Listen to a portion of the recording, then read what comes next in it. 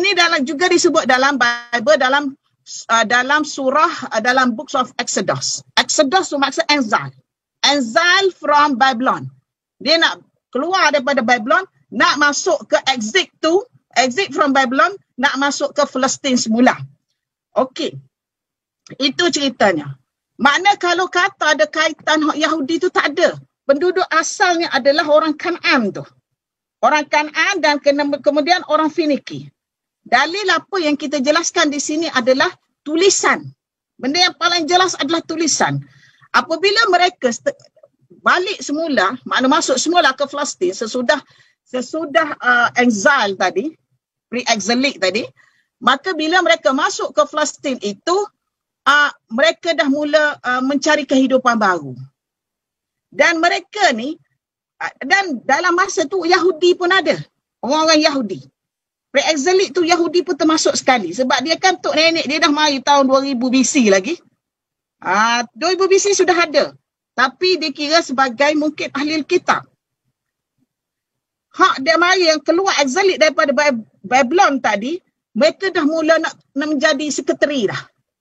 Di situlah mereka mengambil bahasa bahasa Finiki, bahasa Kanan dan bahasa Aramaik menjadi hak mereka. Mereka ubah the square script tadi. Kejap lagi saya tunjuk macam mana bahasakan anak yang pertama. Sebenarnya language is a scientific discovery tau. Language is a scientific discovery to to uh, to prove evidence yang mana siapa pemilik negara tersebut. Ah, language itu. Dia bukan saja di Palestin, di mana-mana atas dunia ini. Language is scientific uh, scientific evidence or proof. Jadi sekarang ni kalau kita tengok Palestin itu dia punya uh, kawasannya uh, adalah di tepi tepi pantai. Apa yang jelas berlaku di Palestin ini tidak disebut oleh benda-benda ini tidak dikaitkan di dalam biblical study. Biblical study yang yang telah diubah itu telah men, cuba menghilangkan data-data yang uh, Ustazah sebut peringkat awal tu. Justru kat mana Ustazah dapat info-info tadi? From my reading, from research, dah bertahun-tahun kita buat dan from my, hingga kan kita dapat keluarkan buku. Jadi benda ini, kalau kita tengok ya, biblical study menafikan kewujudan Palestin ini. Bagaimanakah kita boleh tahu nama tempat ini adalah Palestin? Ya, Sebenarnya perkataan Palestin ini telah dijumpai dalam catatan uh, uh, catatan batu bersurat hieroglyph hieroglyph oleh J.F. Campbellian. Hieroglyph uh, dalam bahasa Mesir. Dalam catatan hieroglyph dalam uh, dalam uh, batu bersurat Mesir dia sebut PLST dia sebut dalam hieroglif itu bahasa hieroglif kan dia ada simbol and dia ada uh, dia ada ni uh, dia panggil apa uh, autosyllabik tu. Jadi dia sebut PLST. Kenapa dia tak sebut A E I dia tak sebut? Sebab dalam batu bersurat mana-mana batu bersurat ancient ancient period dia tak sebut IOU. Dia tak sebut huruf vowel. Ini diakui oleh AFL Biston. Dia tak sebut kenapa? Sebab bat, za, tulisan tulisan atas batu bersurat before ED dia tidak mempunyai huruf vowel. Dia hanya sebut huruf consonant. Sebab tu dia jual PLST. Jadi tengah orang, setengah historian dia panggil Fleset. Fleset. P-E-L-E-S-T. Dia panggil. Jadi sekarang ni perkataan Palestin ini kalau ditengok dalam catatan uh, Al-Idrisiyah, uh, Al-Idrisiyah ataupun Ptolemy Isaf, kan orang yang membuat peta sebelum sebelum berlaku krisis di Palestin dengan Yahudi ini, nama Palestin memang wujud. Nama Palestin memang memang wujud. Okey. Uh, Nazirah, uh, pergi ke pergi ke uh, peta Palestin. Ustazah nak tunjuk? Pergi lagi? Pergi lagi? Lagi, lagi? Lagi? Lagi? Lagi?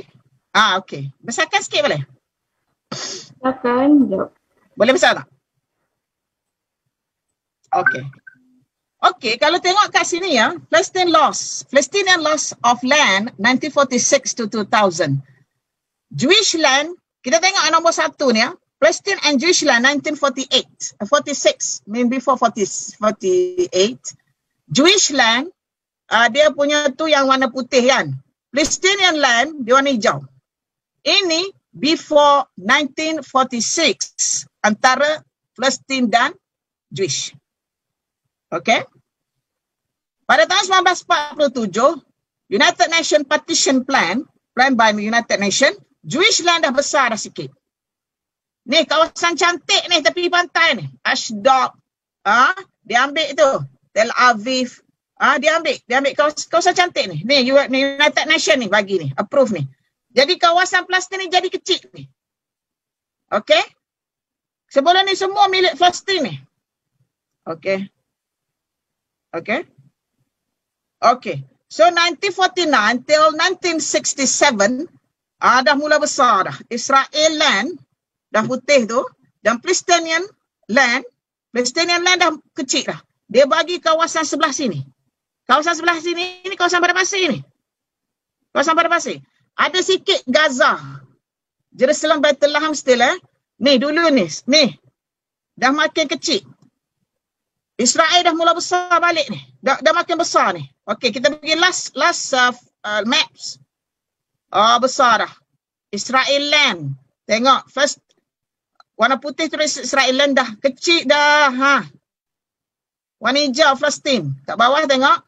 Jerusalem, Bethlehem, Gaza. Sekarang ni, sampai hari ni, kawasan Palestin hanya ada Gaza, Bethlehem,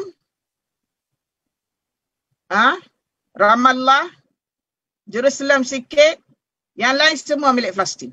Ah, milik Israel. Okey? Okey.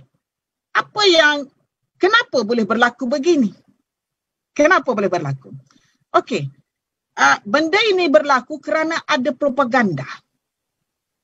Propaganda yang dilakukan oleh uh, oleh uh, oleh uh, pihak uh, Yahudi mengatakan itulah the promised land.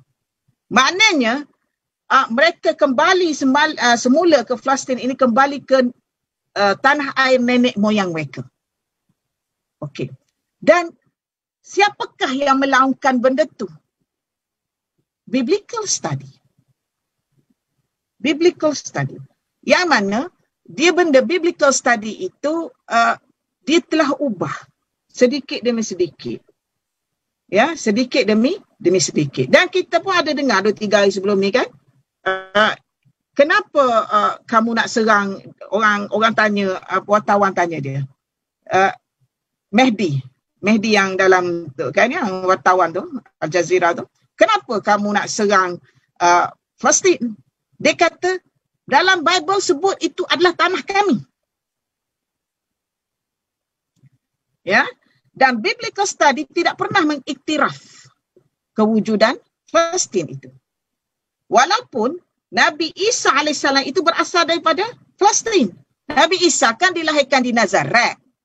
Dulu Nazaret itu di antara dia dia utara Palestin utara Palestin, dia di, di atas sikit tu masuk ke Syria.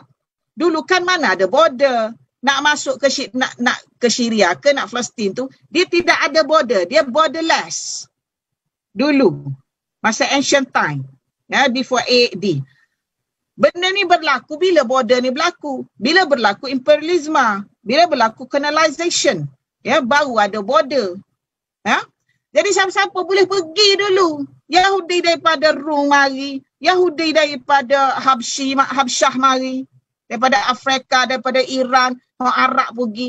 Yang berfikiran Yahudi. Pada peringkat awal, Yahudi ini yang pergi, kenapa dia nak pergi sangat? Sebab dia ni, mereka ni antara orang yang mempunyai sifat Rabbaniyah. Sifat ketuhanan. Bila bunyi, bila Palestin dihadiri di wujudnya Nabi-Nabi di situ, mereka ingin pergi berjumpa dan ingin berdekatan dengan orang-orang saleh